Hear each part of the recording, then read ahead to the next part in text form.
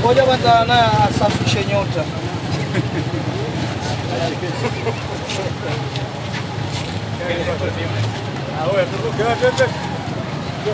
Tunakuacha usalama si. Freshi, Kama kaa? freshi. uh, tumeona wewe umepata nafasi ya kuweza kuonana na Zimbwe Hey. uh, hii bajaji ni yako au yake? Eh, hey, bajaji ni yangu, ni yangu kabisa. Ni mapenzi ambayo. Eh, ni mapenzi ambayo na, na juhudi ambayo anazozionyesha uwanjani ndio zilizofanya ni hata niweke hii picha na kuwa kumsapoti Mtanzania mwenzangu. Eh, Okay, ikiwa kama shabiki wa Simba leo umepata nafasi sasa kuonana na Zimbwe kwako, uh, kitu gani ambacho uh, kimekujia akilini kwa haraka haraka?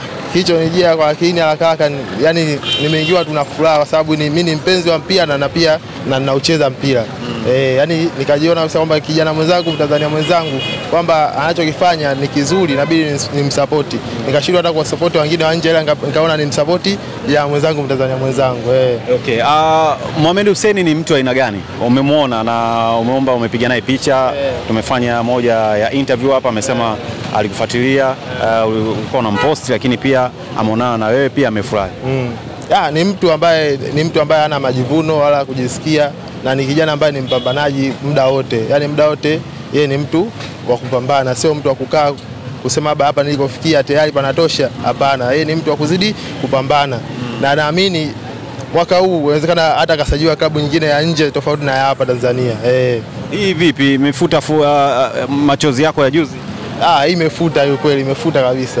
Eh, nimefarijika sana kuonana naye na kuongea naye vizuri na kiukweli nimefarijika, nimefarijika sana.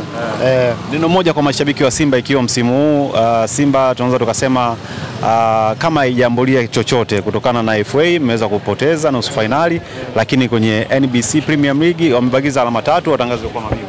yani kwa msimu huu ni hivyo hivyo tu, ni kupambana kwa sababu msimu tayari yani tusha wapinzani wetu nao pia walikuwa vizuri na sisi wenyewe pamoja tulikuwa vizuri, ili tulikuwa na- tunabidi tu tuboreshe kikosi sehemu kadhaa e, kama vile kwenye ushambuliaji tunabidi tuongeze watu e, ili Simba hiyo imara. Naamini hata msimu ujao tukienda kimataifa tunaweza tukafika hadi fainali.